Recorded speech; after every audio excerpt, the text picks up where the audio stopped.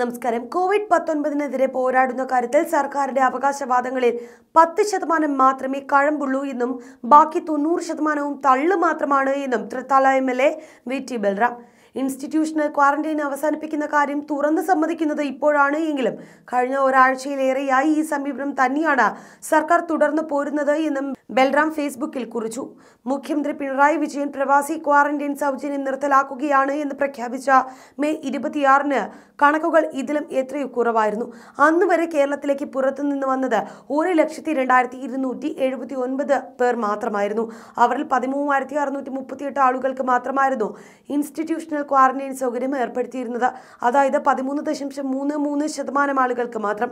അതിപ്പോൾ പന്ത്രണ്ട് ദശാംശം രണ്ട് ആറ് ശതമാനമായി കുറഞ്ഞു എന്നത് തുടർന്നുള്ള ദിവസങ്ങളിൽ സർക്കാർ തന്നെ ഇൻസ്റ്റിറ്റ്യൂഷണൽ ക്വാറന്റൈനെ നിരുത്സാഹപ്പെടുത്തിയിരുന്നു എന്നതിന്റെ കൃത്യമായ തെളിവാണ് എന്നും ബൽറാം പറയുന്നുണ്ട്. വിദേശത്തു നിന്ന് തിരിച്ചെത്തുന്ന മലയാളികൾക്ക് ഇനി മുതൽ ഇൻസ്റ്റിറ്റ്യൂഷണൽ ക്വാറന്റൈൻ സൗകര്യം നൽകേണ്ടതില്ല എന്ന് സർക്കാർ തീരുമാനിച്ചിരിക്കുകയാണ് എന്ന് കേൾക്കുന്നു. നിലവിൽ തന്നെ പരമാവധി ആളുകളെ ഹോം ക്വാറന്റൈനിലേക്ക് നിർബന്ധിക്കുകയാണ് സർക്കാർ എന്നാണ് വി ടി ബൽറാം തന്റെ ഫേസ്ബുക്ക് കുറിപ്പിൽ പറഞ്ഞിരിക്കുന്നത്. കോവിഡ് രോഗികളുടെ എണ്ണം നാൾക്കുനാൾ വർദ്ധിച്ചു വരുന്ന ഇക്കാലത്ത് സർക്കാരിന്റെ ഈ നീക്കം അപകടകരമായി മാറുന്ന ശക്തമായ ആശങ്ക ആരോഗ്യ വിദഗ്ധർക്കിടയിൽ ഉയർന്നിട്ടുണ്ട്. ഇൻസ്റ്റിറ്റ്യൂഷണൽ ക്വാറന്റൈൻ അവസാനിപ്പിക്കുന്ന കാര്യം തുറന്ന് സമ്മതിക്കുന്നത് ഇപ്പോഴാണ് എങ്കിലും കഴിഞ്ഞ ഒരാഴ്ചയിലേറെയായി ഈ സമീപനം തന്നെയാണ് സർക്കാർ തുടർന്ന് പോരുന്നത്. വീട്ടിലേക്ക് പോകാൻ ഒരു നിവൃത്തിയുമില്ലാത്തവരെ സർക്കാർ സംരക്ഷിക്കുമെന്ന് പറയപ്പെടുന്നുണ്ട് എങ്കിലും ഇക്കാര്യത്തിൽ വ്യക്തതയില്ല എന്നാണ് ബിൽറാം പറയുന്നത്. ബാത്റൂം സൗകര്യത്തോടു കൂടിയ രണ്ടര ലക്ഷം ബെഡുകളാണ് തിരിച്ചെത്തുന്നവർക്കായി തയ്യാറാക്കുന്നത് എന്നായിരുന്നു മുൻപ് മുഖ്യമന്ത്രി പിണറായി വിജയൻ തന്റെ പതിവ് ആറ് മണി അഞ്ചു മണി വാർത്താ സമ്മേളനങ്ങളിൽ പറഞ്ഞിരുന്നത്. അതിൽ ഒരു ലക്ഷത്തി അറുപത്തി മൂവായിരം കിടക്കകൾ തയ്യാറായി കഴിഞ്ഞതായും മുഖ്യമന്ത്രി അവകാശപ്പെട്ടിരുന്നു. ആ വാർത്താ സമ്മേളനങ്ങൾ ഏറിയ കൂറും കപട അവകാശവാദങ്ങളും പി ആർ എക്സസൈസുമാണ് എന്നാണ് പ്രതിപക്ഷത്തിന് വിമർശനം ഉന്നയിക്കേണ്ടി വന്നതും.